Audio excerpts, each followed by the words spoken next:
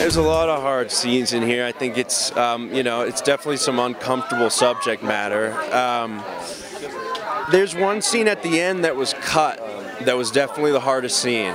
Um, and I think it was cut for a good reason. I think Laurel um, had good reason to cut it. It was uh, we went a little overboard. It was, you know, this this story is very it's very it has a lot of realism to it. It almost feels like a docudrama. So to bring it so far into like a very obvious narrative theatrical operatic kind of uh, conclusion felt a little dissonant to what we were trying to do. But that was a it was a scene that was very difficult.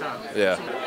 Um, I think that it is really trying to hone in on the on the gray area that's maybe not so obvious that maybe you know to the you know to the common eye isn't so blaring. And so I think that there's a lot of those situations happening all around us that you know maybe get blown over because they're not as obvious or they're you know they're a little more like a snake in the grass.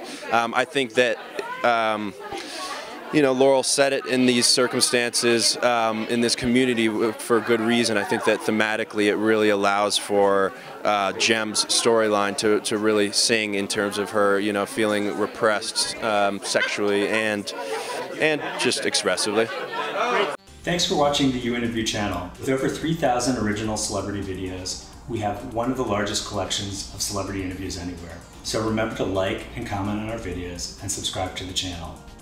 If you want to get more involved, you can become a member of the channel. Membership has its perks. You can see exclusive celebrity videos and get the opportunity to ask our celebrity guests questions. We can't wait to hear from you.